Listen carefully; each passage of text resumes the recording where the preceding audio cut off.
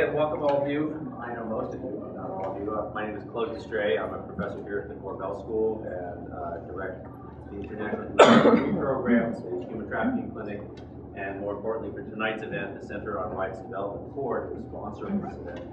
Um, And I'd like to welcome all three of our panelists. Um, uh, The CORD has one of the oldest centers at the Korbel School, going back to when I was still at the Graduate School of International Studies, starting in 1988, when it began, and is devoted, as might sound, on uh, the issue of rights development and- and research into uh, human rights and human rights uh, issues.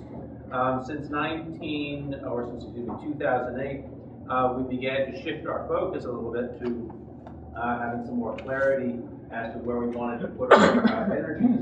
And we've decided to devote ourselves to advancing the universal of the International Covenant on Economic, Social, and Cultural Rights, the ICESCR. Um, and uh, this year, for instance, uh, you might have noticed that the focus is on education, so the spring symposium, which I think go to 14th, is that right, 14th year of Spring Symposium, will focus in on the issues of right to education.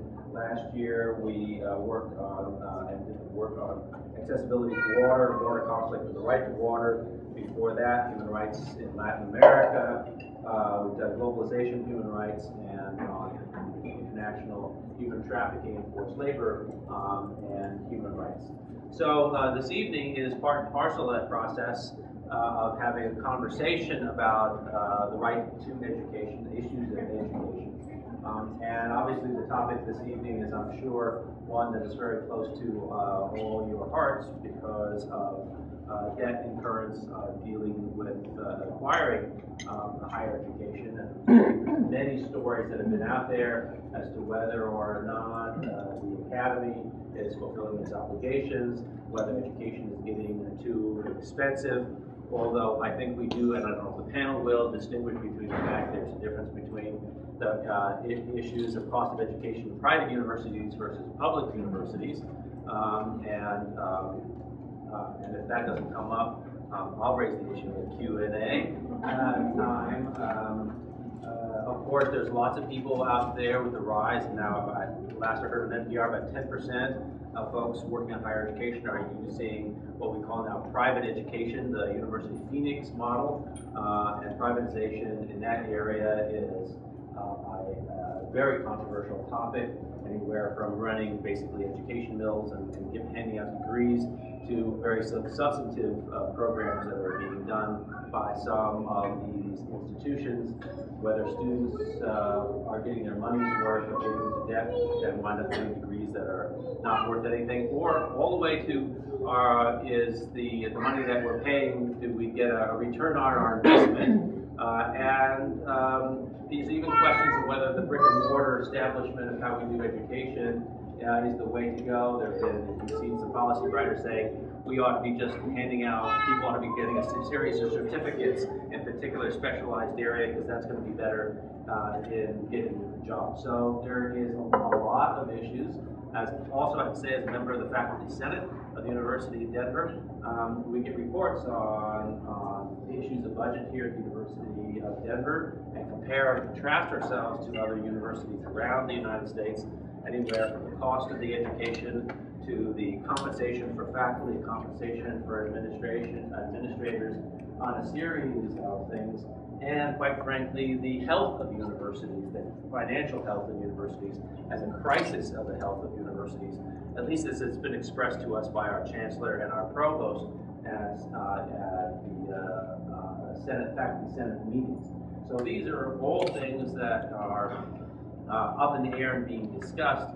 Um, and this panel is going to be addressing some very pertinent issues directly related to your involvement, financial involvement, and the return of that financial involvement. So the format is going to be straight, pretty straightforward. Uh, I uh, have uh, uh, uh, Kelly speak first, uh, and he's got a more technical aspect to his uh, piece. And so what we decided to be easier to do is have kind of combined instead of all the questions at the end. We'll have a few questions in between, but also have more time at the end, depending on how much time is left, of course. Uh, so uh, that after he's done, some questions, and then followed by Art uh, and uh, if Sharon, if it's all right with you, uh, finish up with, with your piece.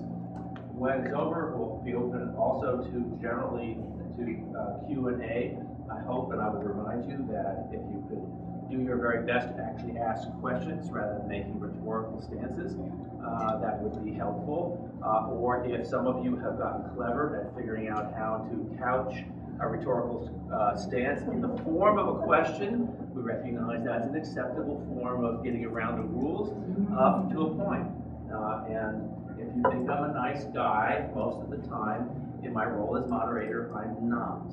Okay? So I will cut you off if it turns into a, a, a, a, turns into a speech with a question mark that we hope is at the end of it. Okay? How's that? Is that okay for ground rules? All right. Um, so, Well, first of all, I'm glad you're a um, strict moderator because sometimes I need one. Um, I can go on, on one page probably forever, so definitely, uh, let me know if, uh, if, uh. um, I'll put my I clock on, don't worry. Okay. Um, I also wanted to mention that while I'm from Kansas City, we have a branch here in Denver. It's right on the Sixteenth Street Mall. So I'm, I'm in Denver quite a bit. I've heard great things about the University of Denver, so I'm really happy to have been invited here. Um, so I hope at some time when you're on the Sixteenth Street Mall during the day that you'll be able to stop in and, uh, take a look at our museum and, um, lot, uh, to offer there that you might, that you might find interesting. So Colorado is part of our district. It's, Denver is every bit as much of our, part of our district as Kansas City is. It just so happens our headquarters are, are located in Kansas City. Um, also wanted to mention a couple other things. One is, uh, um, I had student loans. Uh, I went to a small private liberal arts college before. Um, I ended up transferring to a public university, but um, I had my share of student loans. Um, lucky for me, I've paid them off. I've been in my career long enough to do that, but um, certainly understand what it what it's like to, to hold that debt, to have that burden. Um, and then the, the last thing I want to say before I get started is um, uh, the Federal Reserve doesn't, as far as I know, have an official position on loan debt issue.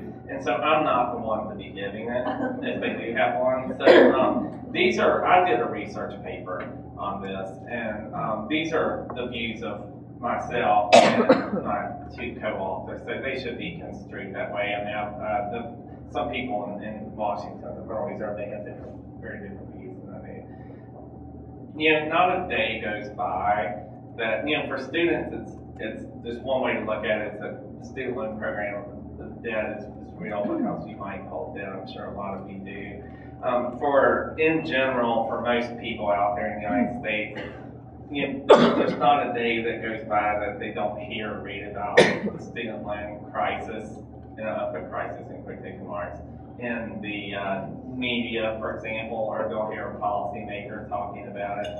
And typically the story runs like this, is there'll be some description of the enormous run-up student loan debt over the last several years, and I've got some numbers on that that I'm gonna share with you, and it is enormous.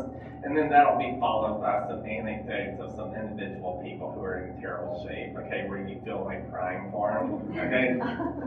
But what I think in my general, I was asking myself, um, how big an issue is the student loan um, issue? And what I was afraid is that what's really behind that, if, if we get numbers on, sometimes total numbers don't mean a lot, and sometimes anecdotal stories don't mean a lot. So what I set out to do was um, to uh, to try to to do some research that would um, inform us to the true nature and the true scope of, of what the problem truly is for, for uh, um, so I set out to kind of inform and frame the debate.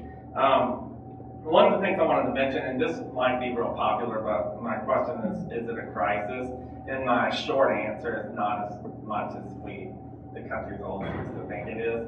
Um, and that doesn't mean it's not a crisis for individual people. And I'm not debating, for example, whether who should be paying for higher education, for example. I'm asking specifically with student loan debt the way it is, is that is that a big crisis for the U.S. And my short answer is not so. Um, uh, first of all, uh, I'm going to talk a little bit about the growth in student loan lending.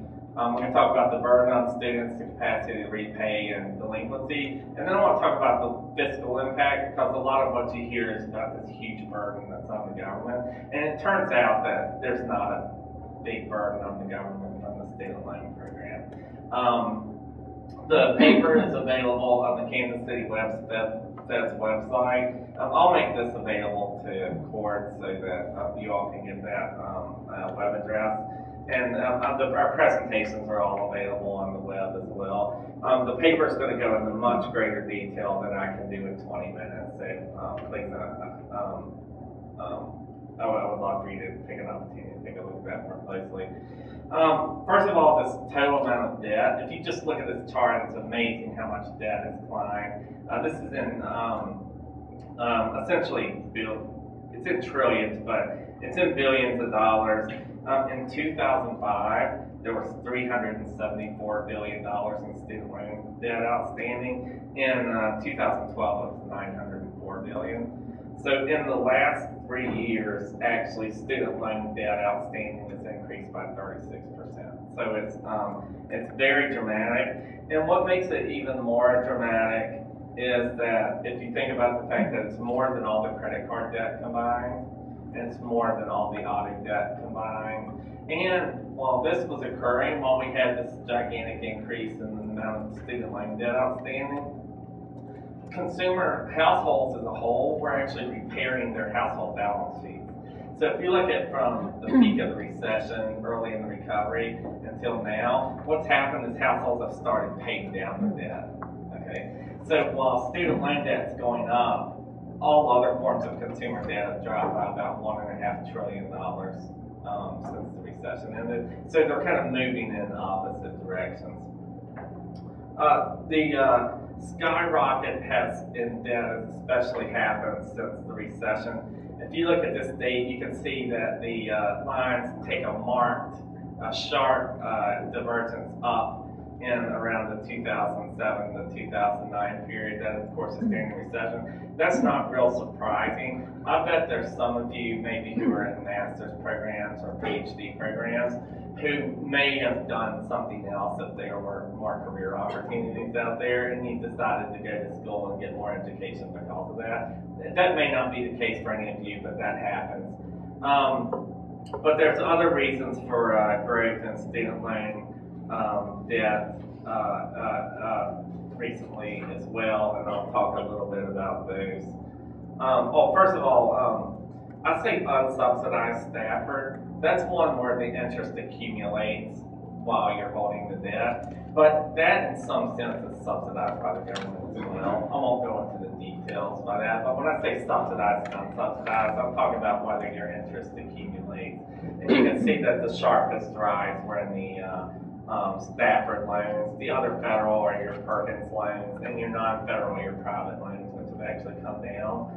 Um, private loans are one of the um, types of loans we're most concerned about. I'll tell you in a minute why that might be the case, but they make up about seven percent of all um, student loan debt outstanding. Almost entirely government debt. So where's this debt increasing? That makes a big difference. Okay, why is the debt increasing? Well, it turns out that it's largely driven by enrollments. And to some degree, this mitigates my concern about the growth in student loan debt. So what I don't want to see happen is students just getting themselves in more and more debt, individual students. But the fact that it's driven largely by enrollments, that there are more people in college and in grad school, and therefore there are more people that are borrowing student loans, mitigates my concern a little bit. Um, there's uh, also a larger increase in the share of students who borrow. So not only more people enroll, but of all the people who enroll, the share of all these people who are borrowing money has increased. Okay, so it's mostly coming from numbers of people rather than average amounts of debt. It turns out that over the last couple of years, the average amount of borrowing has increased um, uh, moderately, but most of this increase in total debt is coming from the uh, increase in number of people who are in the number of borrowers.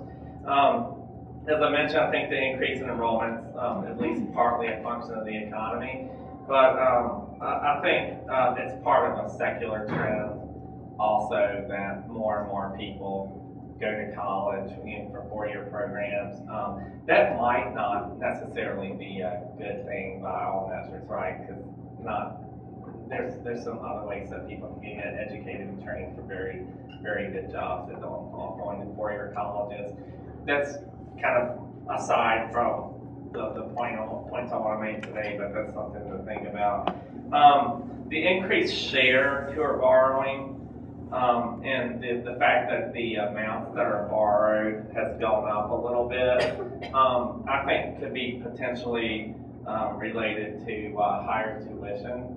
Tuition is going up dramatically, and I think that assistance on the part of state governments especially has gone down, uh, dramatically in some cases.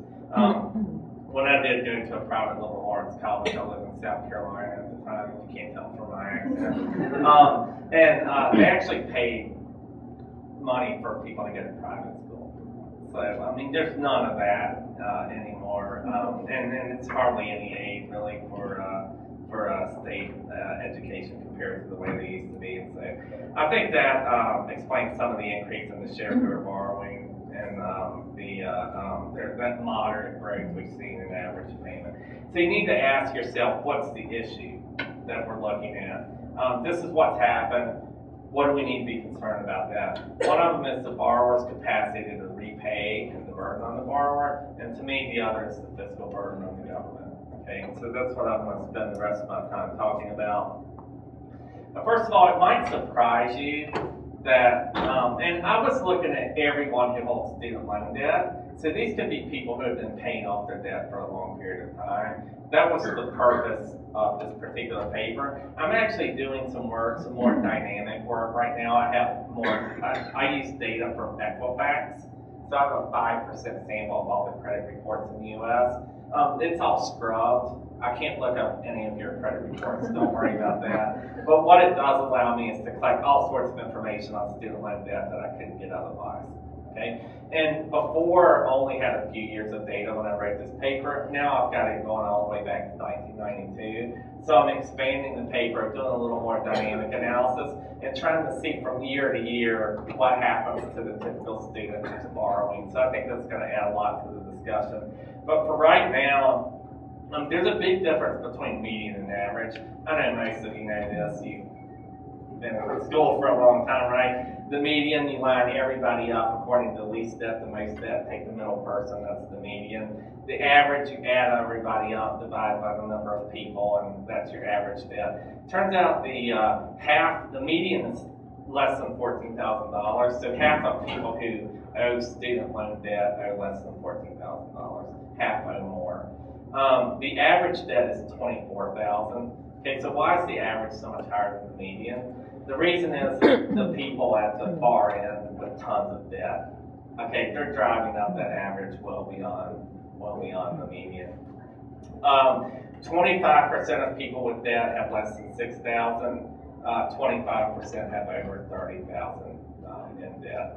Um, there are three, uh, slightly more than 3% of people with sibling debt who have over $100,000 in debt, and half a percent with over $200,000 now, how do you accumulate two hundred thousand dollars debt? There are a lot of ways you can do that. I mean, I think it's hard. I think it's easy to accumulate a hundred thousand with kind of poor management, changing colleges all the time and majors and things like that. Two hundred thousand, you're probably talking about people who went to medical school and, and, and things like that. So. Um, in terms of payment, the median payment is $190 a month.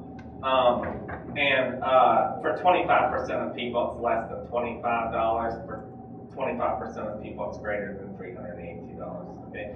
I actually did a calculation that the average person coming out of school clears or um, clears about $2,500 a month. This is really back of the envelope type of stuff. Okay, so uh, for them, a three hundred eighty-two dollar payment is quite a quite a burden. Obviously, um, uh, that accounts for about twenty-five percent of people. But interestingly, uh, forty percent of the people with student loan debt um, are um, under thirty, but a third of them are over forty. Okay, so a lot of those people out there holding student loan debt didn't either they got plus loans those are parent loans for undergraduate students, or if you're a grad student, you can borrow almost unlimited amounts of money with plus loans. Um, they uh, deferred or forbore their loans, or they uh, just went to school late or whatever. But there are actually a lot of people who have student loan debt who are over the, uh, the age that we might normally think of with, with uh, student loans. Um, so I guess my issue here is, my consensus is that there's a group, a cohort of people who have very serious debt problems. I think we need to be very concerned about them. I mean, I share their pain. I think um, uh, there's assistance that the government actually provides to try to help these people. I don't think the information that's out there is good, but I feel for those people, I think it's a big problem. My point here is that it's not as widespread as you might think just from reading the newspapers. Um, delinquencies are high, however, they're currently 11% are past due. But interestingly, of those, almost 9% are about ready to default. So there aren't that many people who are 30 and 60 days late. It's mostly people who are about ready to default. The New York Fed uh, noted that 47% of the people who have student loan debt are either in school or deferment or forbearance, which the delinquency rate then jumps for 27% for people who are re- in repayment. Okay, so those are astronomical delinquency rates. Um, those are something that I'm very concerned about. Um, I think there's some big implications for the future, and I think it's for the delinquent borrowers. The government tends to get that money back. Believe it or not, most of those people are going to end up paying that money back, but it's going to be a long slog, and they're going to get um, some severe consequences of it. The U.S. government uh, has a very high uh, collection rate on student loan debt. Um, uh, cohort default rates, I'm gonna skip over that. Um, just basically, this is people who, after they graduate the fiscal year, they defaulted by basically two years later. That's nine point one percent currently. Lifetime, uh, default rates, it depends a lot on what kind of loan it is, but for subsidized Staffords, it's about twenty-three percent, which means sometime during your lifetime, you'll default on the, on the Stafford loan. That doesn't mean you never pay it back or won't start repaying, but it's sometimes you're, sometimes you're technically in, uh, in default, which typically is two hundred and seventy or more days late. Um, issues driving delinquency, I know I don't have much time to go over these. I think recession and recovery is a big part of that. I think, um, um, I am gonna look over kind of, uh, now that I have more data, I can see what delinquency rates have looked like over time. But unemployment, underemployment, so, uh, you might know a lot of people who you went to school with who, uh, got degrees in engineering and they're delivering pizza. Okay, uh, as far as the government's concerned, they have a job, they're employed, but, um, that's not the kind of jobs that we want these people to have. So, um, those people typically, a lot of times will have trouble paying their loans.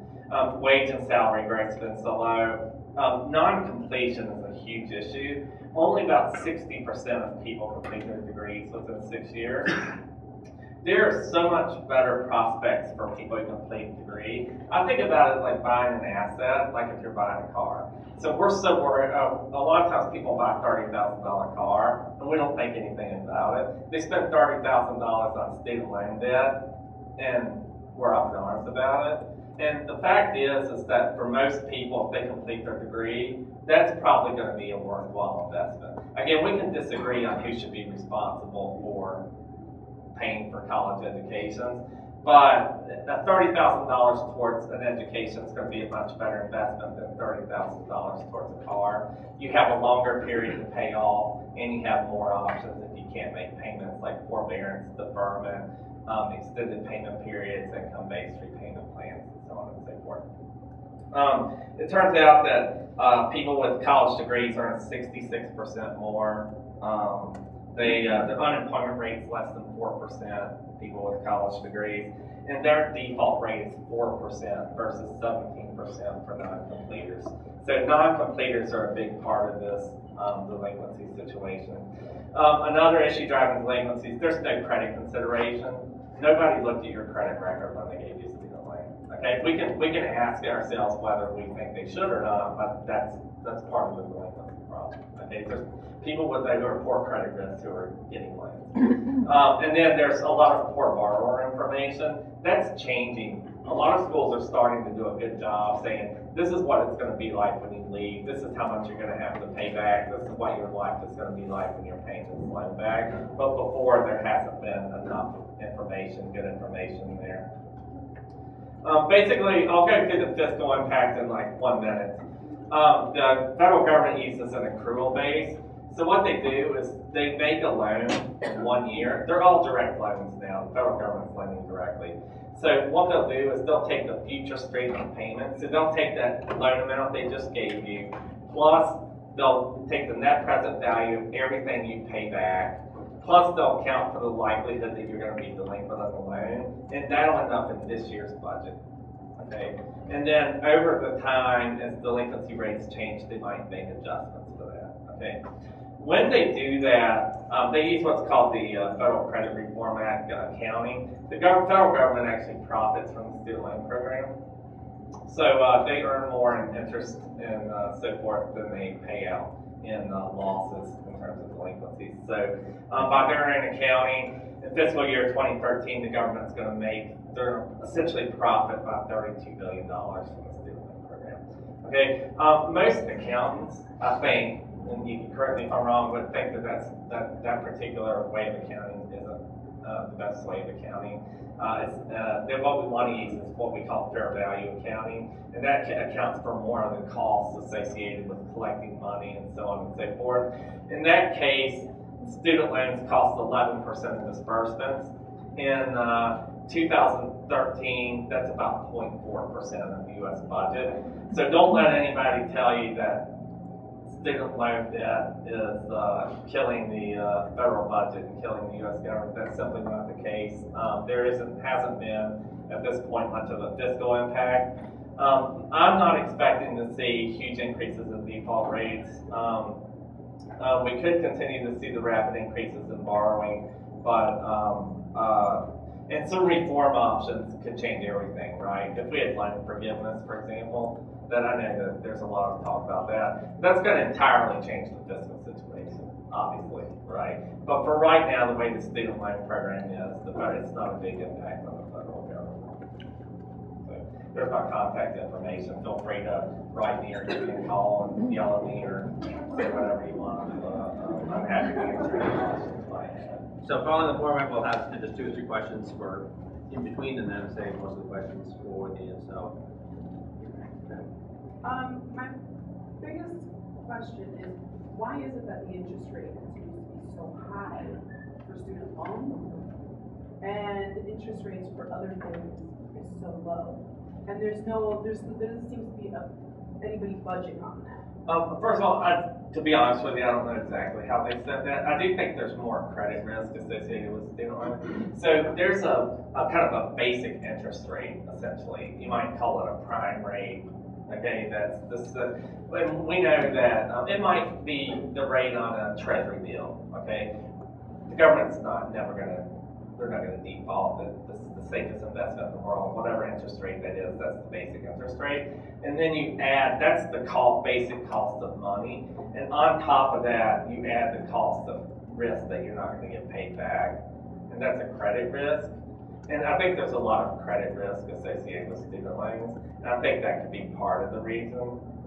Um, but I don't know, um, always wondered why, um, I had some student loans when I was paying them off and I consolidated them back when interest rates were pretty high, so I couldn't consolidate them again. You know, so I was paying really high interest rates until I tried to pay them off really quickly, you know, as quickly as I could. So I don't always understand why things are the way they are. I do think there's a huge credit risk for student loans. I think that partly explains because it, you know, they have to recover money from the people who are paying in order to compensate for all these people who aren't paying.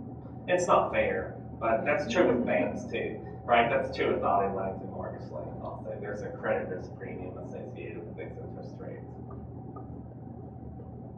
So I'm, I'm curious, do, do the universities have any skin in this game?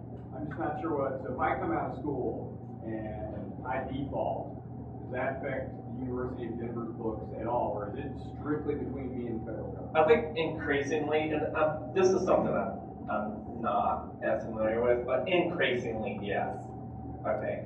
Um, uh, before, um, if, if I go to these cohort default rates, or, um, look back in the eighty-nine and nineteen ninety, how high they are, there was some federal government action that was taken to make schools more responsible for that. Fourteen hundred schools lost their ability to, uh, to, uh, um, offer essentially student loans, federally subsidized student loans. Um, that really made the cohort, cohort default rates drop off.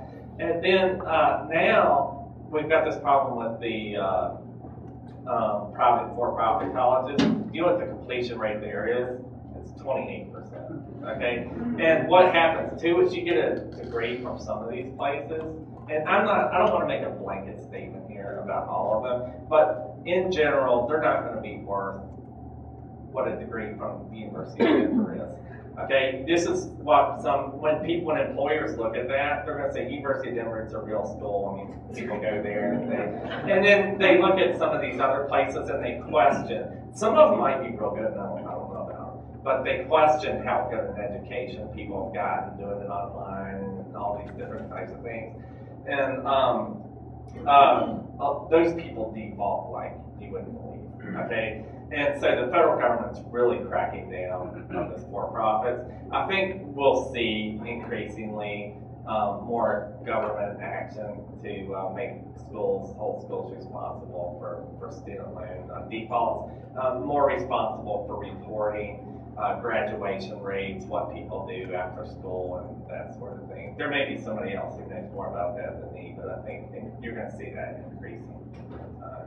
So in, in, in essence, there's, uh, you know, um, while DU or any school doesn't, isn't directly affected by the fact that you default on a loan, it is, it takes a longer time, but the, it comes home to roost in the sense that the, the, uh, the federal government, like it did when I was in school, this is what happened, um, uh, said, oh, you, uh, you're not managing your students or educating your students right. Right, so, uh, what we'll do is cut, you- cut off your ability to give loans, which of course makes it, the ability to, to enroll in that school a bit more difficult. And it made a dramatic difference. Yeah. It dramatic It did make, and, and people, and, and I have to say, that the attitude, quite frankly, among students was, you can default, there's no consequences, right? So what are they gonna do to me? So, and I can declare bankruptcy if nothing else, and when you have no money declaring bankruptcy, people don't think about the repercussions when you're, uh, younger, in your twenties, declaring bankruptcy. It means almost nothing, you have nothing, so declaring bankruptcy says, so what?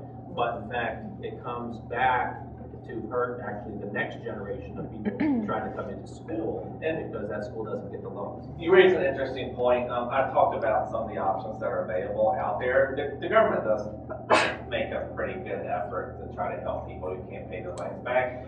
If you default on a student loan, it's horrendous. They, they can, uh, they can take, you can forget about borrowing. It's gonna ruin your credit score. And you'll never get student aid of any kind that, um, maybe, maybe if you make good on your loan, maybe it's possible down the road. You cannot bankrupt student loans. Okay? You can bankrupt your auto, you can bankrupt anything else. You cannot bankrupt your student loans. There are very limited cases where you can, and the law is very clear on this. It says that you have to have a hardship that shows that you can't pay your student loan back, and that that's gonna persist over the entire repayment period. And there are a lot of other conditions on top of that. So you're in a lot of trouble, right, if, if you can't, uh, pay your student, they can, they can garnish your wages, they can intercept your tax refund, uh, they can, there's a lot of power that the government has. And because of that, their collection rate is actually hundred and nine percent. They, uh, collect more in fees and, and extra interest on student loans than they lose in actual people not defaulting. If you include the cost associated with collection agencies and so forth, it's eighty-eight percent. They, they get their money back, and the reason is they have a big hammer in order to get it back. Couple more here? Um, I was just wondering if you have an, an opinion on student loan fraud.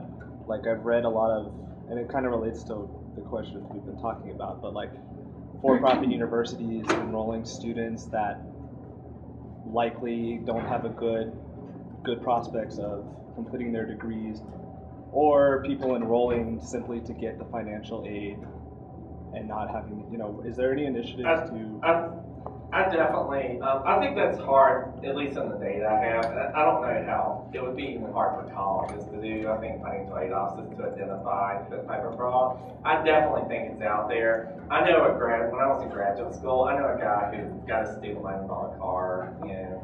Um, I mean, there, there's always people that are gonna do that. And then, um, I know that, I imagine that this, I mean, I'm almost certain it's true at, at the University of Denver, and I know it's true at most universities, that they only want students to come in that they think have a chance of succeeding. Right? They, they want that, I mean, to the extent that, um, I mean, maybe some of them want to just raise money, but for the most part, um, uh, kind of traditional universities, they want, there, there's a, uh, um, not everybody gets in for a reason, is that they want to invite people in who can succeed. There's some question as to whether that's the case with for-profit universities, because they're, if, if they're completely profit motivated, then they can make their profits whether the students succeed or not, right? They're still paying money. And they- they're, I'd say, uh, eighty to ninety percent of their money comes from federal student loans.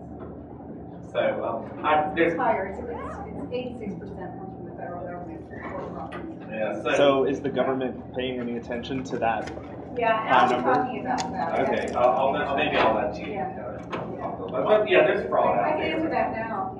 Yeah, Uh, sure, go. Yeah, well, you you asked the question, what are the consequences to the schools?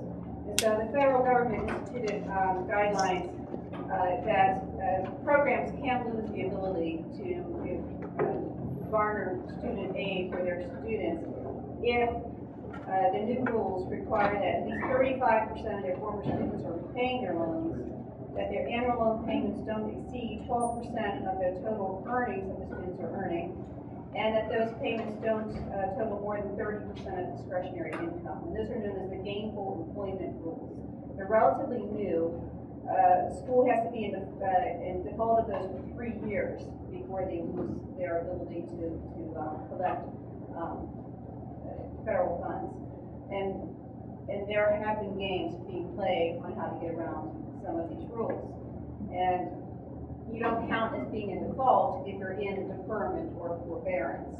And so a lot of, uh, the for-profit industry is guiding students into for-profit or forbear, uh, into deferment or forbearance, uh, so that they don't count in the default numbers. So why don't we move on, Art? Hi, I think I know everybody here, what I should. Um, I have a couple of handouts, which you can pick up later on. Uh, one is a piece which was in Psychology Today called Student Debt is a Moral Issue. Thank you, oh, that's terrific. Thank you. Uh, Student Debt is a Moral Issue, and one are some statements by one of my favorite writers, Professor Johns Hopkins, um, which uh, deals with the problem of the uh, of student debt and administrators and what is going on. So here I have them up here, and you can pick them up. I'm going to try to go as quickly as I can because time is running on. Um, I think of a song when I think of student debt that you don't remember because you're not old enough. It was called, um, it had a line in it, and the line was, and the rich get richer and the poor get children. You can just change it from, from the rich get richer and the poor get debt, and you'll understand where I'm coming from. I will say controversial things, but things that I've researched and which I have read a great deal about, and it will not simply be economics, but we'll deal with moral and social and psychological issues of indebtedness uh. University today is replicating a pattern which is very disturbing to me because it looks like wealth distribution in the United States. When I went to school, uh, my entire undergraduate education was five thousand dollars. When I started at the University of Denver, which was thousands of years ago admittedly, um, I was paid fifty-five hundred dollars a year to go to school. The uh, gap between faculty members and students and administrators was very small. You understand that, you know what's been going on here, people have talked about this a lot in the last uh, election. Uh, the gap has grown enormously, and so we have people who are sitting at the top of the pyramid who make great deals of money, and students are in debt. I don't know if anyone's actually done a, a, a book on this yet, but I would like to read it over time to see what has happened here, because it's very interesting, um, about wealth distribution in universities, uh, which parallels, in my view, wealth distribution in the United States on. Um, there was no student debt when I went through school. I was poor, but I came up with those student debt because nobody ever heard of a student debt. It was as simple as that. I checked with uh, people I graduated with from the Fletcher School and asked any of them uh, if they had a debt. The answer was no. Uh, the average debt a few years ago at the Fletcher School of Law and Diplomacy per student was sixty thousand dollars a year. The provost at the university of uh, Fletcher School told us that, and I have no reason to doubt it. Gordon Gee at the Ohio State makes two million dollars a year, right? That's the very top. Uh, but a lot of people are trying to close the gap, and it ain't you, right? In terms of how this is working. And this, of course, leads to some issues beyond economics about wealth distribution in America, now replicated in American universities. You with me so far? I'm going to say some very controversial things, but mainly to provoke you all into responding, if you will. The other part of the story is administrators have multiplied like rabbits, okay? Schools were run by very small numbers of administrators many years ago. Now, um, they are in great numbers, as um, one writer, Mr. Ginsberg, says, every year, hosts of administrators and staffers are added to college and university payrolls, even as schools claim to be battling uh, budget crises that are forcing them to reduce the size of full-time faculties.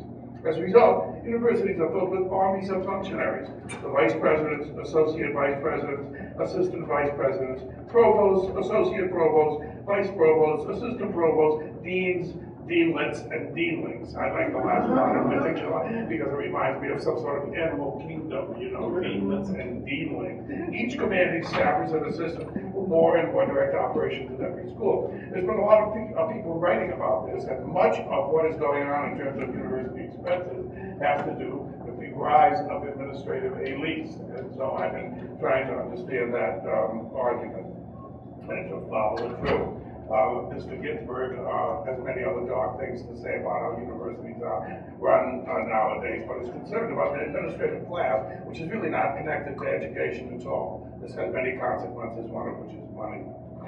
Um, some headlines on student debt. I've been collecting them from all over uh, the country and from articles, and I'll just mention four of them, and then just quickly mention a movie I went to see this week, which reminded me uh, of this very much. Um, uh, uh, Darwin Bond Graham says that you people out there who are I assume some of you, are the coal miners of today. Wow, you know, and I therefore some of you will end up having daughters who will be coal miners. Daughters on that one. Uh, Paul Krugman, who is a very well-known liberal economist who writes in the New York Times, says you're in something called debt peonage, which I think the language is quite extraordinary, what has been coming out on this one. Uh, Leonard Cassuto uh, calls you intellectual sharecroppers. I like that one. You know, I mean, I haven't heard the word slave yet, but it's coming. Uh, Jeffrey Williams wrote a wonderful, wonderful article to the AAUP, which I passed out to some of my students, called, uh, says you are indentured servants, except your position is worse than in colonial time, because they could pay off their obligations in about seven years, right? You're not that lucky, you know, so uh, we have that.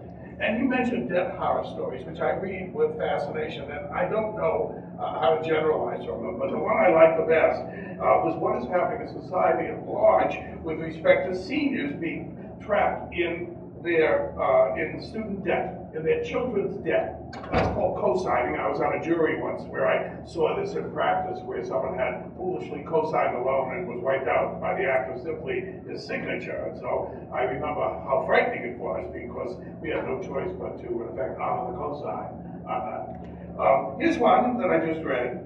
The early morning calls from debt collectors continued even after mass after after massive stroke, waking Bella Logan to daily reminders that she owed seventy-five thousand dollars in student loans. Logan is ninety-four. It was not her loan, right? It was the loan that she is responsible for, uh, simply because she co-signed loans for children and grandchildren. Thus, this is escalating into society in ways which are really, really worrisome. And here I'm talking beyond economics, but at least you'll understand what troubles me. The only way to get out of debt, and please correct me if I'm wrong, is if your child dies. So uh, as soon as I have some time, I'm going to write a book. It'll be a wonderful novel, and I've already uh, decided to sell it to Hollywood, and maybe Quentin Tarantino can make a, a movie about it. Where some parents, in fact, $150,000 obligated to their student uh, debt, and with another sick child killed their uh, child, you know, because that's the only way to get out of debt is murder. It seems to me to be a wonderful play, and I expect that I would get rich off it right now. Um, this is the only way you can avoid, if you're a 94-year-old person, um, not being on the mean streets of Denver. I'm saying this with tongue in cheek, but I'm also serious. And when it happens and you see it in a headline, parent kills child to get themselves out of debt, remember you heard it here first, and I expect an email on that particular subject. Okay, why is this happening? And what has happened from when I was younger? I remember I'm the oldest one here uh, by far. I've been teaching for over 50 years, and I forgive the person that said 40. I take pride now in how long I've been at the University of Denver. And I'll just mention some, and then focus on a couple of things that are significant, and then turn to what is the way up, because I think it needs massive systemic change. I don't think we can continue on this path. Something's got to give, and if we don't take it seriously and take what I'm saying seriously, the price will be paid by everyone in this room right now. Okay. Uh, here it is, cuts in state funding. This has been a disaster. Everybody knows it, because states used to pick up more of the burden of your uh, education, and it's getting worse and worse. No doubt about that, right? And it probably uh, is not going to improve in the near future. Massive capital spending projects, right? I will not mention anything in the local environment. I want to speak in general terms. Um, but as colleges try to lure, lure students uh, by uh, state-of-the-art facilities, which is kind of a magic world, they build and build and build and build. Okay, and it may work in bringing students in, but the cost is enormous. Of what basically is like uh, the NBA, a stadium war, or football stadiums and things like that. And university universities are now following that model. I'm sure you must be aware of it. You don't have to go very far to understand that one. You know. So we have, in effect, a major problem with respect to competition in building. I've seen it here on this campus. When I came here, it was all Quonset. It wasn't very pretty, but it was cheap. Please laugh with me. You understand, we all know I'm a disciple of, he, George Carlin? Someone just gave me one of his records. You might as well laugh because there's no other thing we can do. Dramatic in, increase in administrators. It's amazing, you know. Um, Mr. Uh, Ginsberg says that uh, generally speaking, and I'm smoking, he's, by the way, a, a, a, man with a named professorship at Johns Hopkins. I'm not picking from the bottom of pile on this. Mr. Ginsberg says, generally speaking, a million dollar president could be kidnapped by space aliens, and it would be weeks or even months before his or her absence from campus was noticed. This is very dark, uh, and he can get away with things like that. I don't know if I can. Indeed, if the same space aliens also took all the well-paid deanlets and deanlings, their absence would also have little effect on the university. It would simply be assumed that they are all away on retreat. This is a very dark statement, right? And obviously, you have to we have to look at this very carefully. But his position is very clear on this. Uh, he thinks more good workers and are by adjuncts. You know, someone being paid 2,500 bucks a year and teaching you when we have great numbers of them um, that actually do more for the educational process than overpaid administrators, of which we have too many. Okay, what else? Um, uh, this is this is another problem and how to cut back on what we are spending right now. Um, I want to focus on something close to home to me personally. And again, I don't mean to say anything which would hurt anybody's feelings, um, but I am quite amazed at the fact that as Mr. Sp- uh, uh, Mr. Spencer in psychology uh, says that this is a moral issue, and it's a moral issue for faculty members who don't talk about it right? We don't want to talk about student debt. I'm fearful of bringing it up uh, because I might get stoned to death. It would be some sort of equivalent of. Uh, I won't go into my analogies on that one, but stoning would be a suitable punishment. But talking about student debt, right, which is like swearing in church um, about this. And I'm quite aware of this. I just keep my mouth shut. And the question is, if it is a moral issue, as Mr. Spencer argues, uh, and faculty members who are being paid in large measure by student debt. You understand? We are being paid by your debt. then shouldn't we be talking about it in a moral way? And that means asking entirely different sets of questions than what occur in faculty meetings. Now, you may disagree with me, but I'm quoting from other people. I'm not coming in here armed with my own biases, I have plenty of those. Uh, But I think this is very, very interesting.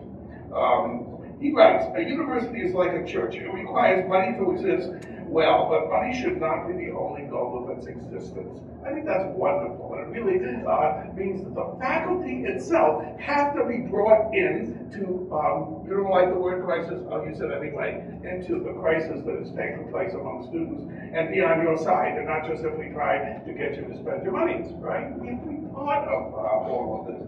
Faculty members do not want to um, talk about uh, student any more than members of the ancien regime in France wanted to discuss, excuse me, the plight of the poor. They were upwardly mobile but not socially conscious. And so we need to do this. We need to bring in morality and social consciousness into this problem for you. I hope you're following all of this because, in my view, it's not being done. And I'm not speaking of my colleagues, I'm speaking in general because I think this is a subject no one wants to talk about. Well, here is what he says the end. This is Mr. Spancer. I have his article here, you can read it. As one writer says, failure to take student debt seriously means the faculty is complicit by fatigue, by willful ignorance, by lazy habit, by self-deception, or by wickedness. That's extraordinary, you know, a claim against uh, academics who I find to be very nice people by and large, with a few exceptions. And um, I, I find that to be a very interesting statement, worthy of discussion, right? Um, on that. Student debt is not their department. Uh, does anyone remember Tom Lehrer who wrote this wonderful story about Wernher von Braun? It's not my department, says college faculties, right? It's not good enough right? And I think we need to pay attention to that. Um, fairly, faculty members rarely considering, uh, consider uh, if the product they're selling is worth money. I can't answer that. I don't know. And I'm certainly not going to get into debate about it, but it is important. What is to be done? Well, first of all, I, unlike you, feel as though uh, see the crisis coming because of the gap here, of the gaps here that I have talked about. Uh, I don't think the current system can be sustained. And because I'm Jewish and I have an apocalyptic mind. Uh, when the end comes, I want you to remember, I said this was going to happen. Right? because uh, you understand, people live very comfortably until the Nazis come. Well, I, in fact, have that mindset. I'm a very happy person because I wake up every morning glad to be alive. But I'm also aware of how uh, a dangerous situation cannot be seen in advance. That's one of the joys of being a historian and being interested in genocide, war, and revolution. It does feed into my uh, thinking um, on this. Well, um, spending like there is no tomorrow is irresponsible. Um, the cost cannot be borne by increasing tuition. I think that's not going to work down the road.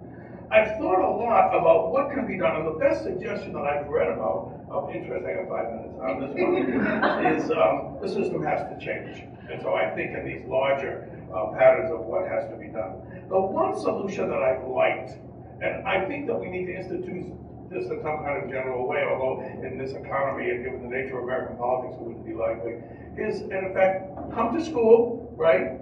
Um, you'll uh, have a debt, but if you are willing, this is an old idea, but one which seems to be very fruitful, but if you will devote two years of your life to something worthwhile for the community, which Lord knows needs it, right? Then uh, the United States government will somehow forgive your debt and you'll come out scot-free after a term of service.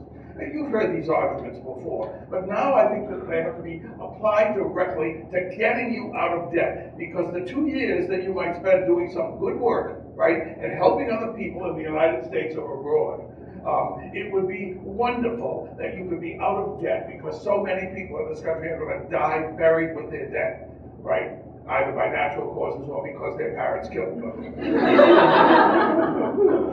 you understand? I'm not making this up. You know, these are all possibilities uh, as to in terms of what might happen. And it seems to me, and I speak here to my colleagues who are not here, which means I can say any damn thing I please.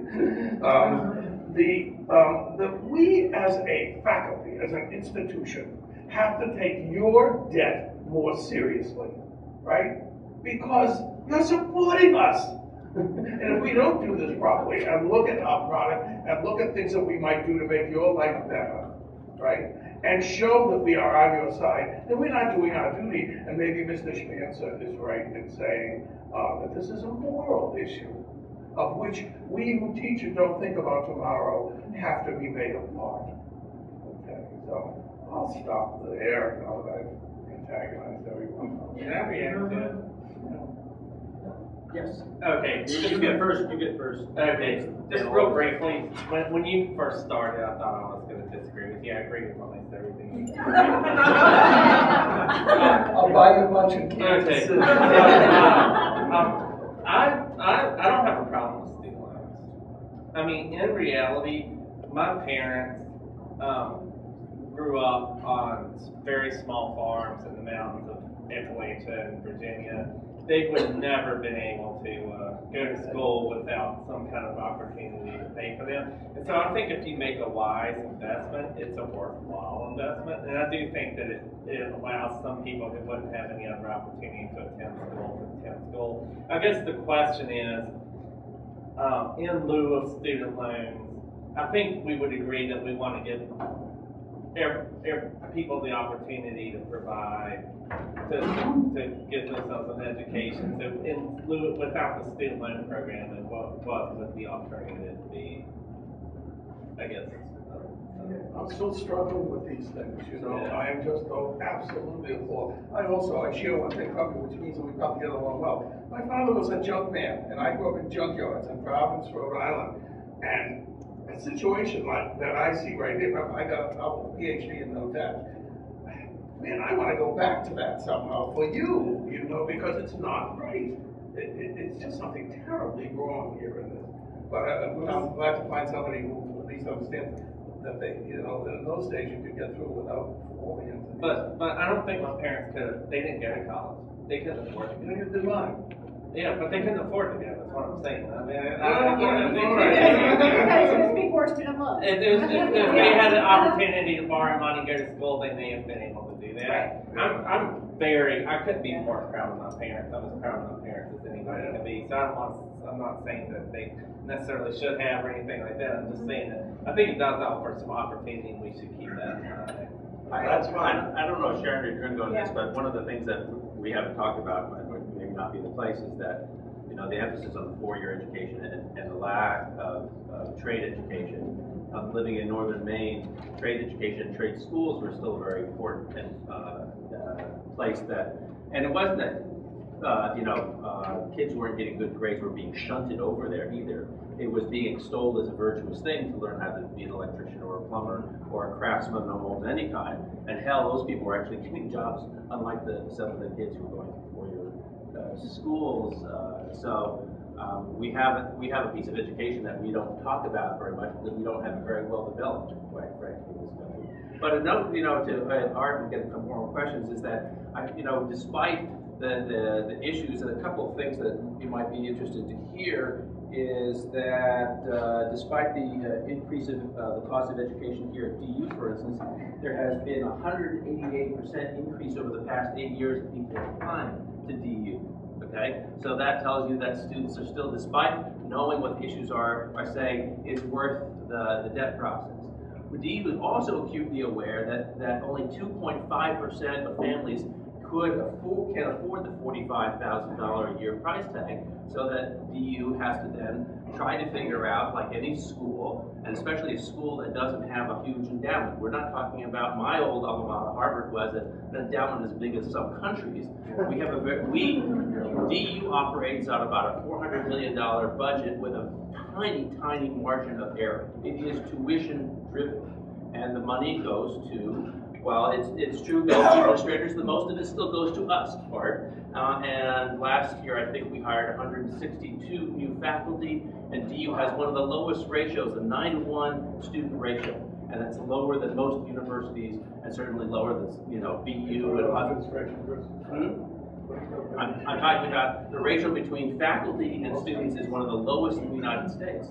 So, these are, these are, you know, these are, I'm just putting, putting out that these play into the cost of a student saying, okay, I know how expensive this is going to be, or maybe I don't really, uh, and yet it's still making the decision, curiously enough, right? We have to say it's almost curious, say, gee, uh, we, no matter how, um, and, you know, we've talked about, I think, Chris, that was last year, we talked about the provost and the chancellor were here saying, you know, when we went over a thousand dollar credit, I thought, well, that's a psychological barrier, that's gonna be problematic. Uh, it's also problematic that then, then you, all you as consumers start thinking of this as a business, right? You're the consumer and we're offering a product, which obviously I can tell in the classroom sort of changes the relationship, doesn't it? It starts to be less of me providing an education than, uh, than, you know, uh, cranking out widgets that you can then turn into dollars. So, um, all right, let's, I'm just like, and perhaps we were going to address this, man, so I'm That's apologize if okay. I'm That's okay. in. But, um, just thinking, like, how much do you think that increases in tuition are based on increases in, like, the regular incomes of people, just inflation, changing of times? Like, I fully admit ignorance in pretty much all financial aspects of this regard. Do you think that, like, that has a big factor in these increases and perhaps maybe maybe income, like it should be a little better adjusted, like student loans should be better adjusted for the fact that, like, like, like, I'm a bank, I say, people are making more money, obviously I can start charging more to pay back loans. Like, Well, I have, um, I have served as an administrator in, uh, both a private institution and a public institution. And I can tell you that, um, in both places, I've seen the numbers. And it's not like, well, we can raise the tuition, so let's do. It's more of a, these are the costs to operate. And, you know, how do we break even or cover our expenses? And I think most recently in Florida, where we had a, um, you know, a ten percent budget cut during the recession. A ten percent budget cut, you look at the, you look at the budget, and ninety-eight percent of the budget is payroll. So that means people have to be fired, you know, and so there were a lot of layoffs, um, and, uh, cut to the, to the bare bones. And things like, you know, your loan officers, we had student loan officers at the university, those count as administrators, okay, these are people that help students get their loans. And we have to fire some of them, okay? So we have situations where students stand in line longer. You know, you do get to see your loan officer eventually, okay, but it takes a long time. Advising hours, we had lines two hours long to see an advisor? But this is what we had to do because our state budget was state budget, and at a state university, the tuition goes to the state, and then the state gives the school the money to operate. We don't have the power at a state university to set the tuition rate, or at least not in Florida, that was set by the legislature. So it's not like we could just increase tuition, the students would have loved to have paid an extra five dollars to not have to wait two hours to see an advisor. Okay, but they, that wasn't an option, you know, so I would say from my experience, this, the, uh, public and, uh, not-for-profit private universities operate at very slim margins and really operate very efficiently. And I've seen a lot of efficiency here at this school. Yeah, I think public institutions are becoming privatized, Yeah, basically. yeah, there are. I mean, they're smaller and smaller percentages are paid for by state aid. Right. Since, since, I, I, I know, we're since we're, can you hold, I know we'd like to ask more questions of, of our, do you mind waiting till? the end of our presentation? Because we've got, I was gonna say, is- I hope you can find your notes for tonight's talk. Uh, no, um, but I want to give Sharon the opportunity Yeah, to yeah. give a talk, uh, to give her piece, and then we can open up and have questions and, uh, um, for a while afterwards. Well, I, I offered to go last because I can, um, I, ca- I have some handouts here that I thought you might be interested in, and I'm going to take the contrary view. I think there's not enough student debt, okay, how's that? Uh, Loans are not a crisis, but as, as a, uh, I came from a public university in Miami before I came here. And, uh, what I'm passing out to, for you is that their first sheet is your change in earnings with the level of education you receive. To show, to reinforce Kelly's comment that it is an investment, that if you make wisely, it's going to repay itself, and it's definitely one worth making. And the rest of the pages are information that is primarily from, the first, the first page is from Colorado State um, press release, Attorney General, and, uh, a four point five million dollar settlement with Westwood College here in Colorado, which is a for-profit institution. So there were a lot of questions about what's happening in the for-profit institution world. Just, uh, yesterday, no, last week, January eighteenth, University of Phoenix president is retiring. His pension will be five million dollars. Uh, Should stay texting. Yeah, I'm sorry, special retirement, special retirement bonus of five million dollars and a monthly pension of seventy thousand dollars. Okay. So, um, okay, that's a for-profit institution. Are there any more of those handouts? meetings. Oh, Okay. no. The next page, a headline from the Chronicle of Higher Education from just today. Um, an arm of the World Bank invests $150 million in Laureate Education. Laureate Education is another for-profit institution that has universities in, um, 65 universities in 29 countries, I think. Okay.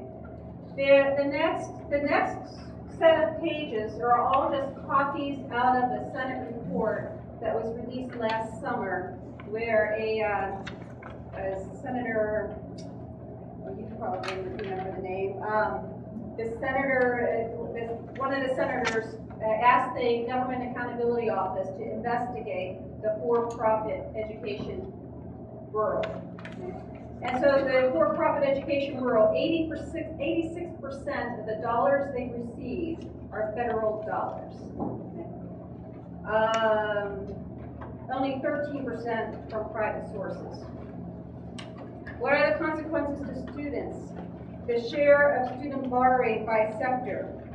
Uh, 96 percent of students at for-profit colleges borrow versus only 48% of four-year public schools. The next one, the three-year default rate.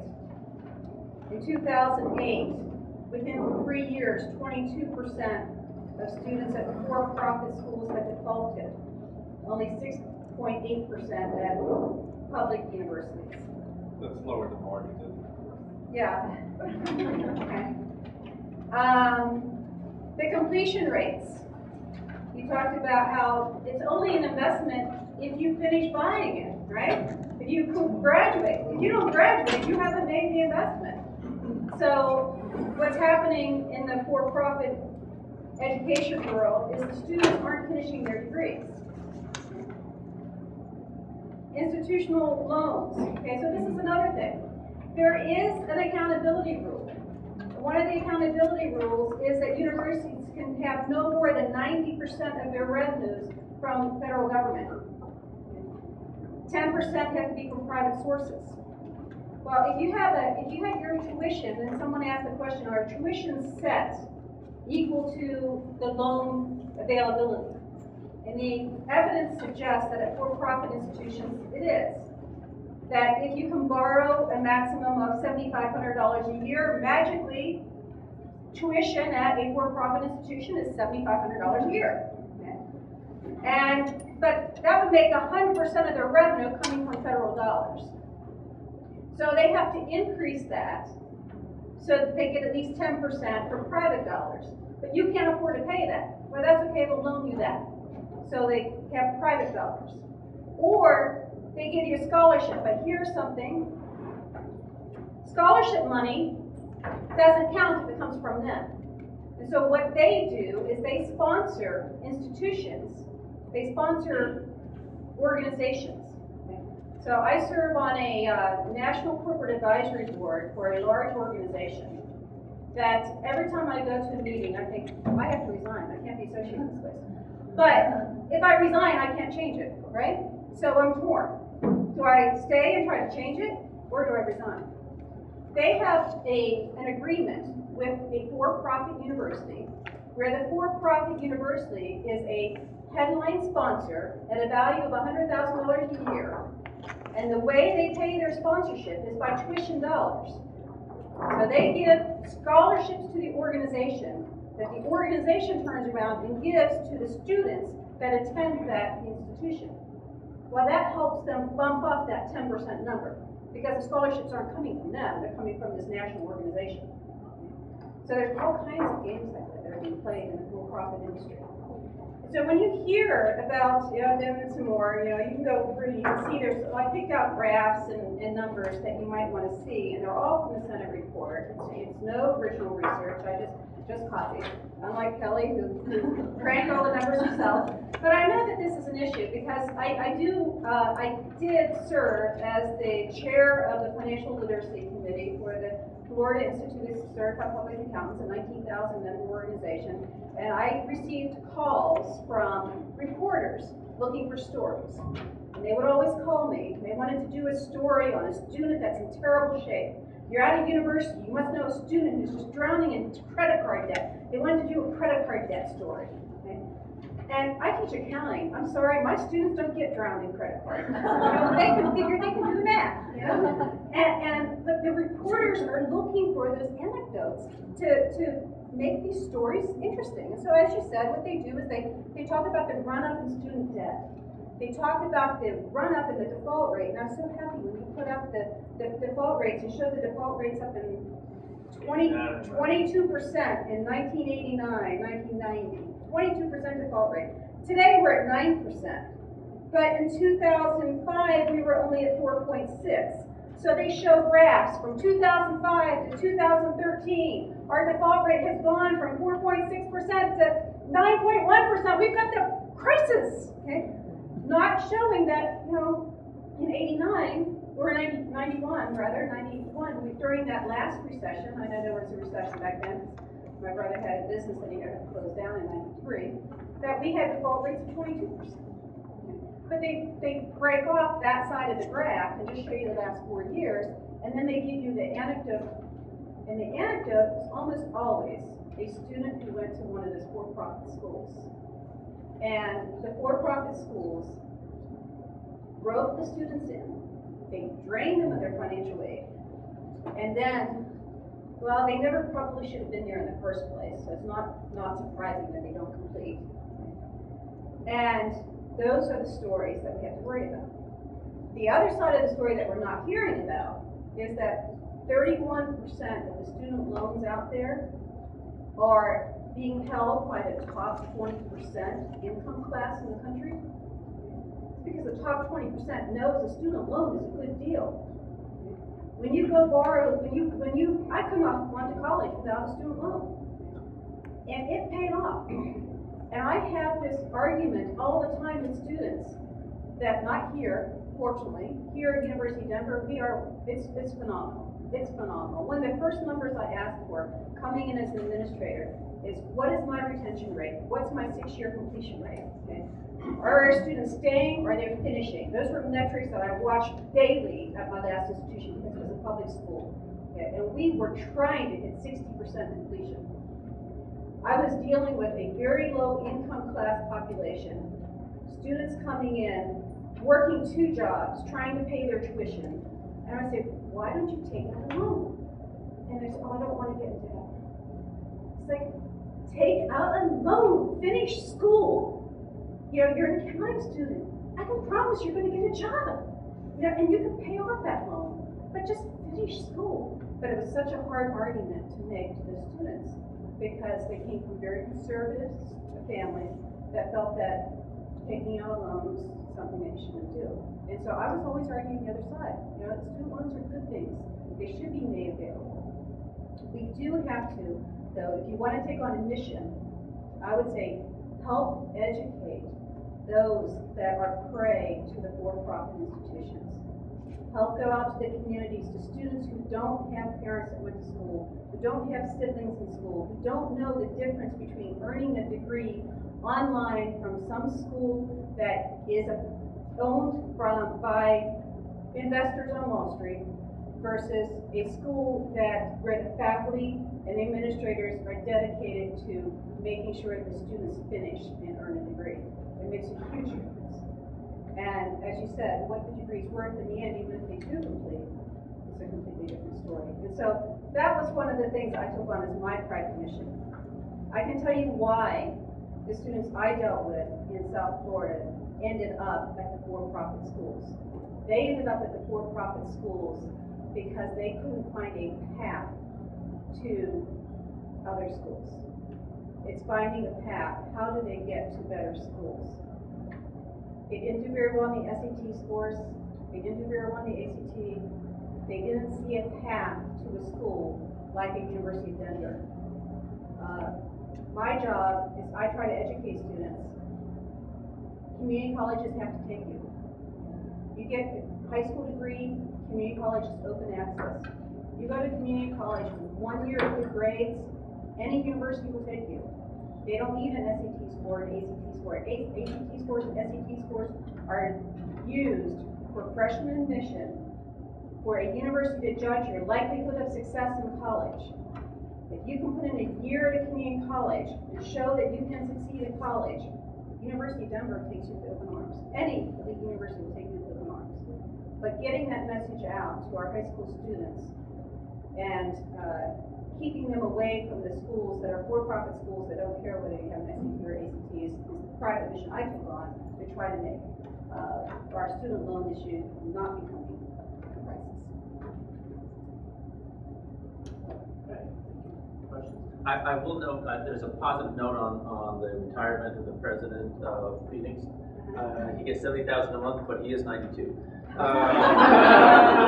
But he, he made seven, seven million base salary before he retired, so. That's true. Uh, Now, it- it, what may be more expensive is they're gonna cover all his dental and medical care. So, I'm sorry, I couldn't resist that. Go ahead, sir. Um, I had a question for, um, Dr. Hart, that was the first one I know. Um, my question was, what do you think about the movement towards co-ops as an answer to the debt crisis in the education system? You have to explain to me what, how that works, in what sense? Um, like, yeah, like cooperative, like how they have business models that are co-ops that are owned by the workers, and the movement for that same thing. I follow that. Um, obviously, I'm very concerned with the reason why, uh, colleges and universities are so expensive nowadays. And so, um, I would support movements which, in effect, cut out, um, a, a great deal of what I see as waste. We have different views on that. You see the system is efficient. I think there is plenty of people, uh, well, I who think that universities and colleges are extraordinarily inefficient in terms of, um, everything from administrative costs to, uh, allocation of faculty time. Um, I have very strong feelings, which I won't go into detail, about, about the importance of teaching, uh, because, you know, for better or for worse, when you have faculty members who don't teach, uh, then you have to pay for adjuncts and it all costs money. So, uh, we could have a fight over that, uh, or not knowing, because I agree with much of what you said, in particular on the full college, uh, front, but, um, my goodness, uh, I've been at this school for many years, and there is a great deal of inefficiencies that I see all around in an academia in general. Um, I don't think it's a very efficient system, and I doubt whether many companies could survive using this particular model. So, yes, I like the idea. But I've not been part of that movement, so I don't know. I've got five questions for everyone. But I think what just came to my head is that you talked about you taught accounting. And do you think that there's a big degree of variation in what you're getting a degree in? Because we're all getting a degree in, some might be security studies, some might be, but for the most part, we maybe want to do humanitarian work, which is gonna, co- you know, we're gonna make what, like thirty thousand dollars a year? And that's less than what we're paying to go to school, and I get it's spread out over a long time. Like, do you think it's a big difference in what you go to school for, and I do what are your feelings on that? Personally, okay, so here's my personal story. Uh, my daughter was a National Merit Scholar. University of Florida pays Florida State residents that are National Merit Scholars to go to school there.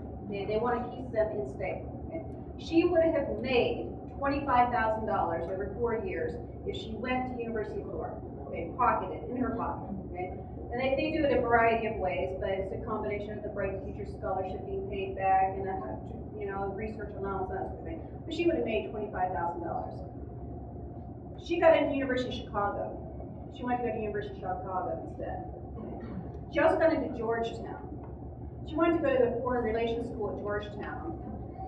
or she wants to go to University of Chicago. Both schools, I'm writing checks fifty thousand dollars a year, but she could have stayed in state and been paid twenty-five thousand. I said, you know what? I said, you wanna go to Chicago and study something where you use math or science, I'll pay the fifty thousand dollars a year. You wanna go to Georgetown and study interrela- international relations, you're on your own. If you wanna do international relations, you do it in-state, okay? And, and have them pay you, because I can tell you, we went, we did the college tour new, through New England, and I can tell you ninety percent of the, the recent alumni giving us the college tours on college campuses were international relations majors as undergraduates who didn't get a job, and so the university hired them to be tour guides for incoming students. Okay, Okay, so I know I'm speaking to an audience here that might not be wanting to hear this, but I think that you have to, you know, go into this with open eyes. Okay, so, short story, I wrote checks for fifty thousand dollars a year for my daughter, she went to University of Chicago, majored in economics, got hired by a consulting firm, switched over to, um, hedge funds. She's making more money than me, and she's twenty-five years old, okay? It paid off, okay? But that's because it's something that is not fun, she didn't wanna do it, okay?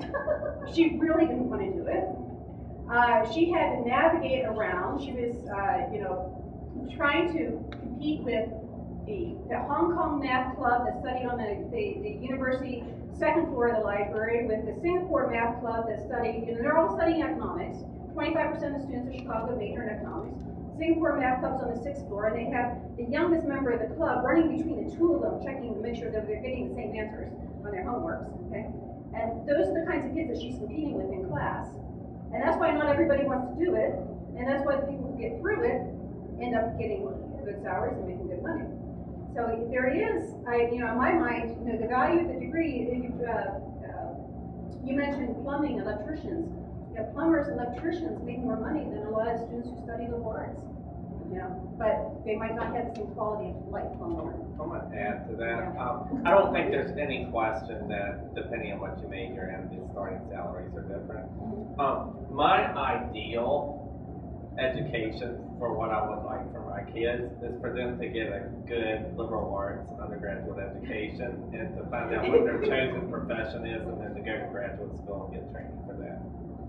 That, that being said, um, I mean, there's no question that, you know, if you major in engineering or math or, um, accounting, uh, also, um, that like starting salaries, some finance, um, are gonna be a lot higher, but I know what I want, like, I think ideally, everyone, and this is more expensive, right, you might have to borrow more to do that. But ideally, what you'd wanna do, cause I think the, a good liberal arts education is critical in becoming, not only, uh, I think it makes you a better professional no matter what you're doing, but at the same time, one would really need to go to graduate school to get some specific training in whatever area they wanna work. And I think international relations would be a good example that, um, uh, I think you can get a good liberal arts background in international relations, but I know that to, some of these dream jobs you have, probably have, are, are gonna require training beyond undergraduate school. Uh, Claude, I just thought I might put, you know, you know, word for studying international relations and all. Now, your daughter, I mean, first of all, I just want to congratulate you. Yeah, thank you. She went to a- She works in a hedge fund, I mean, that's wonderful.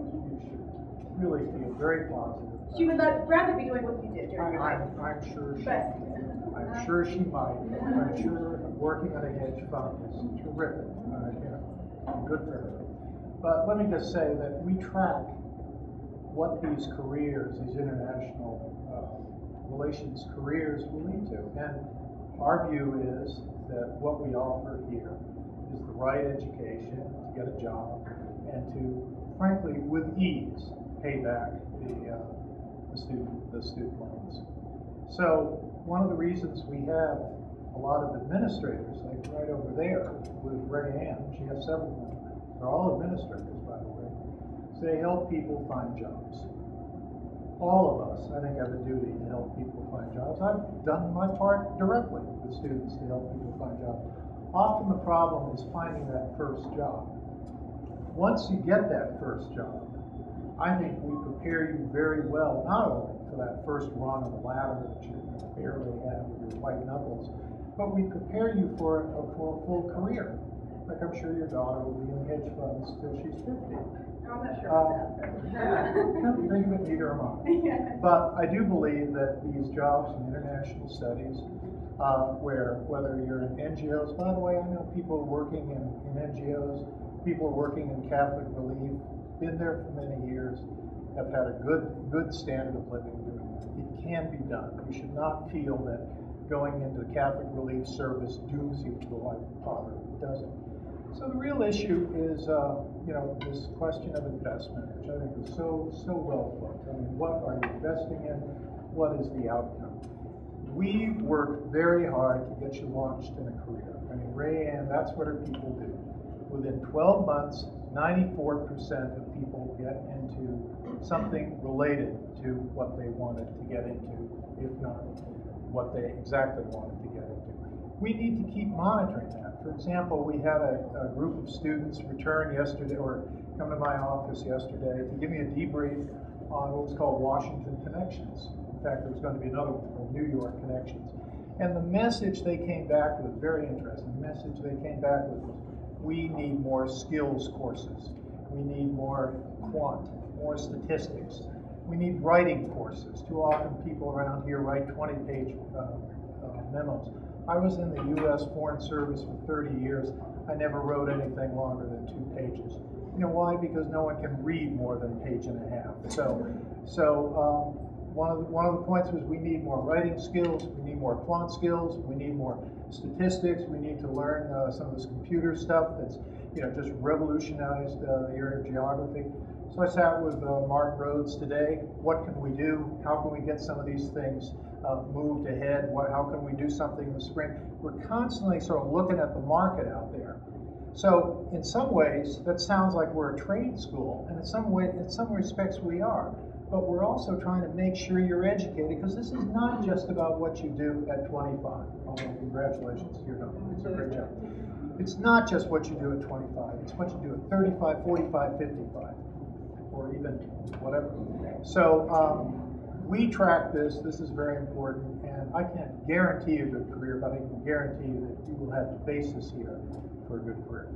I imagine that a, a strong ground in local arts is a part of that degree program, and I think, uh, I mean, just, I mean, I, I can understand exactly what you're saying. The problem is the hard part's getting your foot in the door because that liberal arts education gives you the the communication skills, all these various skills that are going to be help you be successful. One of these the- Washington connections people, students who went to Washington for a week and a half, came back and said, you know, we realize you can't do it with just liberal arts. Yeah. I mean, you know, I'm a liberal arts grad myself. I mean, up in, in Maine, uh, I went to liberal arts school. But you can't just do it because you need these skills. Yeah. You need to drill down on these issues. The standard now is, is, ma- is a master's. That's the standard. For me, it was a, a BA uh, when I went to school. Now it's a master's. So I think we can do that. So I mean, we can have a, a whole other discussion about what is, you know, worth. I mean, I, I can guarantee my, my son's sixth grade teacher does not make the same salary as Peyton Manning. And so we make, we have making, made choices about what we value in this culture, like it or not. Um, when I went to law school, uh, uh, some people went off to uh, immediately off to six-figure Wall Street and New York jobs, and others uh, went into poverty law, uh, making thirty thousand uh, a year. We had the same debt load, by the way, and but we went into it with eyes wide open, realizing that was the game plan that we had, we had chosen, right? So it's it. Um, trying to get some kind of equity, and there's a whole other discussion trying to figure out what is, kind of constitutes equity in, in worth of what people are doing out there. So, uh, If you would come back at some point and tell me how to get either Peyton Manning to be earning my sixth grade teacher's salary and have him still play football, or have her salary be his equivalent, then we can have, I think, a, a- an interesting discussion. But I think that's the point, you have to go in eyes wide open. Oh, those You eyes wide And, and eyes wide open does include where you earn your degree and the likelihood in, yeah, of, of being placed from the school that you're at. We haven't passed that, but I want to make sure we have some. Um, yeah, there's a lot of assumptions about, um, the function of education in a society being laid on in this conversation and every conversation about student debt. Um, and that assumption is that education is to get young people jobs. This is not true. Um, that is one of the functions, uh, but another part of it is to create good citizens, good human beings, people who can think critically about the re- about the reality that they're in and change it for the better. Um, and so if we have everyone going into an accounting degree in a firm, we're gonna end up with too many accountants to do all any of the accounting that we actually need, and nobody to actually like take care of real I'm issues. not saying it's to everybody, that's for sure. But, but that's, that's the, but that's the, what, what the consequence of this kind of thinking of, we'll just go into something that will make you lots of money. Um, that our society puts on our young people who don't know any better because in high school, they're never taught anything about accounting or the world Well, I'm, I'm sorry, but, uh, you know, I think, know, I think a lot of your generation has been told, follow your dreams, you know, find your passion, do what you love. Mhm. That's all good, as long as you're doing it with eyes open. Right, Yeah. and so. And so, you know, that's, that's, that's, you know, my daughter may end up going to graduate school and going to foreign relations, that's fine, it wasn't gonna be on my dime. Right, I mean, Yeah, that's so- totally, so that's I think totally that that's- legitimate. I- I But agree think with that you. The, Yeah. the eyes wide open thing is also about like having our eyes shut in high school. Um, and a lot of the problems that come out of college are really problems that start in the K-12 system. Um, and so I wanted to ask actually a question, or really a question, because I mean, I have a lot to say.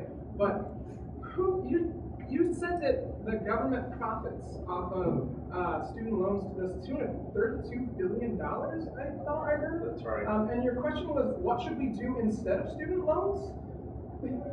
No, Where does that money go? No, Like, uh, well, that's, that's no. the question. Who makes it? Where does that money go? Okay, first of all, I agree with you wholeheartedly about there's a tremendous value to education that goes beyond, um, career. I absolutely believe in these better citizens, first of all.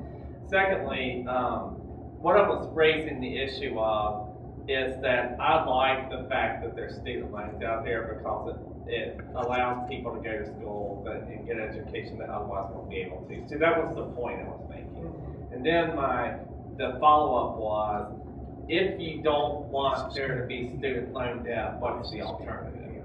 So that was the question. Okay, so, um, I mean, thirty-two billion dollars isn't lot of money. Um, uh, it, it, it's not. I mean, uh, uh, it, it, I would love to have thirty-two billion. So it would be a lot of money to me, but for the federal government, it's not that much money. I mean, it's basically zero. Um, so, uh, uh, but the, the, I wanted to make sure you're clear that the point I was making is, I'm glad there's student debt, right? Because I'm glad that people who are, wouldn't have an opportunity to afford to go to college have this mechanism for where they can afford to go to college and they wouldn't otherwise. And my question was, then, if we're so upset about student debt, and I am upset about some of the issues, I'm concerned about some of the issues. If we're not gonna have student debt, then what's gonna be our alternative? Free. That, that's, a- that's an alternative that we should bring, in. of course, there's a pay, there's where's the no free. from? Who's paying for it? That's right. Yeah. Who's paying for it? There, there's no free, it's taxpayer funded Right. And the, the, the, the question though was, where, where does that thirty-two billion dollars? Where's it coming from? No, where's Okay, it but going? he, he Where's said it that's before collection That's- agency expenses and. No, yeah. but, but actually, but even that, but even if, if that weren't the case, it's basically zero. I mean, that'll buy one B one bomber. Yeah, so, I, I don't understand your question. What, what's your question? The question was, where, where is, like, where does that money go then after the, the government profits thirty-two or whatever it is after fees, like?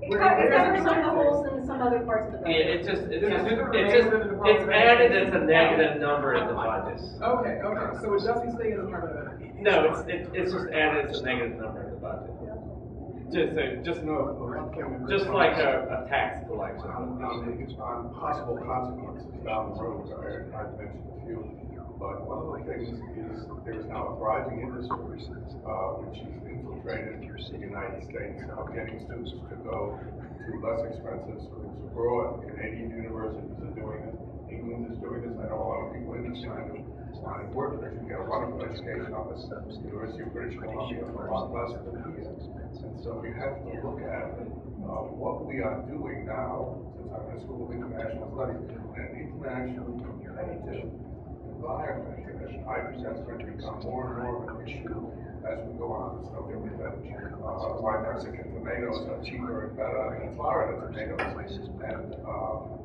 know, this is going to be part of the equation as, um, more and more people find cheaper alternatives in other countries.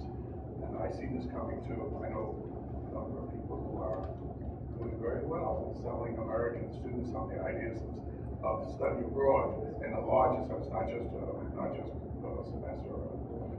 I have to balance that part with the number of students who are coming to the United States Oh, to get one hell of an education and taking it back and and profiting, uh, the, the, the process.